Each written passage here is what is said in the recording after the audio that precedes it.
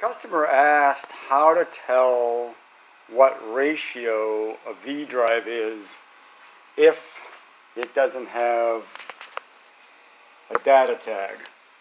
And the only way that I know of, well, there's two possible ways.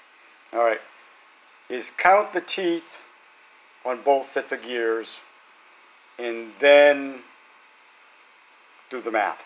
Or you take the V drive section off of the transmission section right here. And what you do is then you just rotate the shaft and count how many times the input shaft goes around versus the output shaft. Alrighty? I hope this answers your question, but uh, I'm sorry, but there's no other easy way to do it. Alrighty?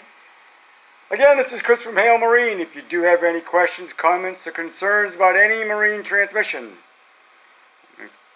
email me at sales at halemarine.com or telephone me between 9 a.m. and 3 p.m. East Coast Standard Time, United States.